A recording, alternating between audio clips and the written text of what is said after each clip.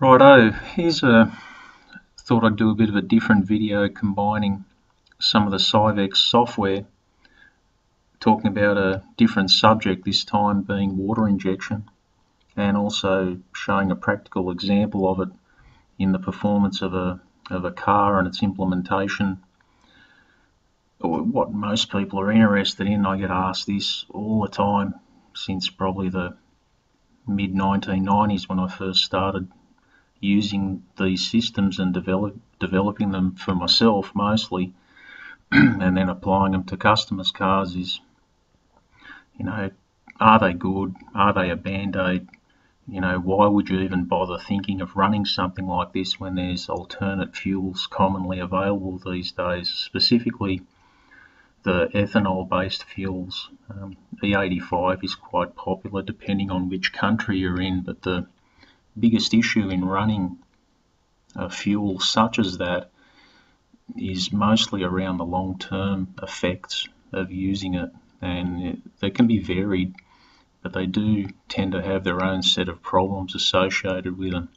Um, I guess the yeah the the really the biggest aspect about it is is people are always concerned about the performance and then the next most common question I get is is it something that you could call durable? Well, if it's implemented in properly in something like a Syvecs ECU and, and you go to somebody who has a bit of a background in implementing it, um, then there's really no sort of question as to whether it's the same type of durability or not. It's really just the quality of the integration that you put into the computer.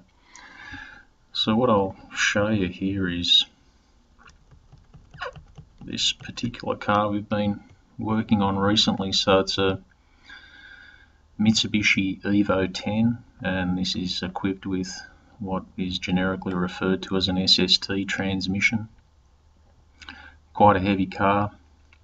Um, this particular one's just set up as purely as a road car. The bloke's not interested in, in putting you know, funny sort of non-OEM tyres on it or stripping weight out of it or any of that other bullshit that a lot of people do to get a performance out of it. And it has a quite a respectable sort of performance figure. You can see here uh, 10.48 seconds at 140 miles an hour to cover 400 odd meters. The car runs on pump petrol, commonly available anywhere in the world, and all you have to do is fill up the water injection tank and away you go. You have full power. I'll play a bit of a video now showing the performance of the car and you can get a perspective for yourself as to just how how powerful it is I suppose from the video.